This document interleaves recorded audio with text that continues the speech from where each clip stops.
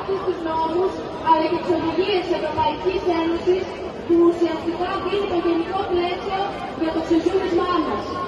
Δεν τους κάνουμε τη χάρη. Με τη συλλογική μας δράση, με την αλληλεγγύη μας, συνεχίζουμε. Εμείς που χτίζουμε το τουριστικό θαύμα, εμείς δεν καρπονόμαστε τίποτα. Εμείς που δημιουργούμε όλο το πλούτο, ζούμε με έναντι και εκδιανού.